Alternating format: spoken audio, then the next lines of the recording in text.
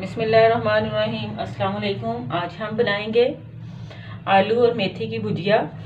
और आलू और मेथी की भुजिया बनाने के लिए लिए हैं हमने हाफ़ के जी आलू लिए हैं। उन्हें ऐसे बारीक पीसीस में काट लिया है, ये देखें। ये हमने लिया है, दो मीडियम साइज़ के प्याज लिए थे, उनको भी बारीक काट लिया है। ये दो टमाटर हैं, ये अदरक है, तकरीबन डेढ़ इंच का टुकड़ा है, और एक कप हमने मेथी ली है, उसको भी हमने बारीक बारीक काट लिया है। आए, अब हम बनाना स्टार्ट करते हैं।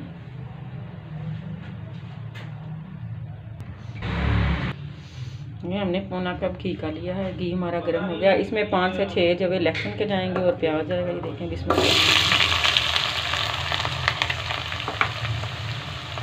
ये हम फ्राई कर लेंगे देखें प्याज हमारा सॉफ्ट फ्राई हो गया। अब इसमें हम कटे हुए टमाटर, ये मोटे मोटे हमने काट लिए हैं और ये अदरक को हमने पीस लिया है। ये ऐड कर देंगे। और टमाटरों को थोड़ा नरम होने तक फ्राई करेंगे। ये देखें प्याज हमारे, टमाटर हमारे नरम फ्राई हो गए हैं। अब इसमें वन टेबल स्पून ज़ीरा हसबे ज़रूरत सॉल्ट है। ये वन टीस्पून हल्दी है और वन टीस्पून ही रेड चिली पाउडर है और वन टीस्पून ही रेड क्रश चिली है। ये स्पाइस आप अपने हिसाब से कम या ज़्यादा कर सकते हैं और वन टीस्पून ही इसमें धनिया पाउडर जाएगा। ये देखें सारे स्पाइस हमने ऐड कर दिए हैं। अब इनकी थोड़ी बुनाई करेंगे। तरह साथ साथ लहसुन को भी मैश करते जाएँगे। अगर आपको पिसा हुआ लहसुन पसंद है तो आप इसको लहसुन को पीस के भी ऐड कर सकते हैं, वरना ये फ्राई में ही अच्छे से नरम हो जाता है।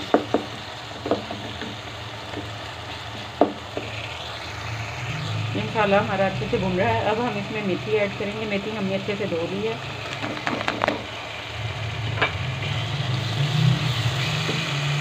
साथ ही इसके हम आलू ऐड कर देंगे।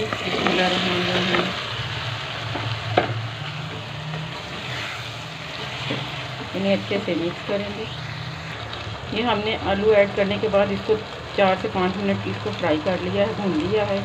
और अब इसमें तकरीबन ये देखें, एक गिलास पानी का जाएगा। जिसको तो इसको मीडियम आँच पर 10 मिनट के लिए कवर कर देंगे ताकि आलू अच्छे से गल जाए। ये देखें, आलू हमारे अच्छे से गल गए हैं और इन्होंने घी भी छोड़ना शुरू कर दिया है। अब इसमें जाएगी वन टीस्पून गरम मसाला पाउडर की। तीन से चार सबज मिर्चें और ये धनिया ऐड कर देंगे। अब इसे अच्छे से मिक्स करेंगे। इसकी बहुत ही ज़बरदस्त खुशबू आ रही है, ये बहुत मज़े की भुजिया बनती है। ये देखिए हमने अच्छे से बुनाई कर ली है और ये भी आ गया है। भुजिया के ऊपर। अब हम इसकी फ्लेम बंद कर देंगे और ये हमारी भुजिया तैयार हो गई है। देखें, बहुत ही मज़े की और खुशबूदार, लाजवाब भुजिया हमारी बनकर तैयार हो गई है। अगर आपको ये मेरी रेसिपी पसंद आए तो प्लीज़ मेरे चैनल को सब्सक्राइब करें लाइक करें शेयर करें और कमेंट में मुझे ज़रूर बताएँ ये रेसिपी आपको कैसी लगी। और बेल आइकॉन का बटन प्रेस करना ना भूलिएगा। ताकि आप मेरी हर आने वाली रेसिपी देख सकें। और अगर आप मेरे चैनल पर नए हैं तो मेरे चैनल को ज़रूर लाइक कीजिए और सब्सक्राइब कीजिए। ये आपकी बहुत मेहरबानी होगी। और अपना बहुत सा याद रखिएगा और हमें भी दुआओं में याद रखिएगा। अल्लाह हाफिज़।